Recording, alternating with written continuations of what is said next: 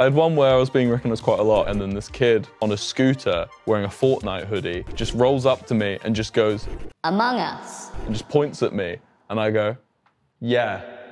And he just stares at me, and I go, do you want to take a photo? And he just goes, and just scoots away silently. Did your feelings get hurt that he didn't want to take a photo with you? Yeah.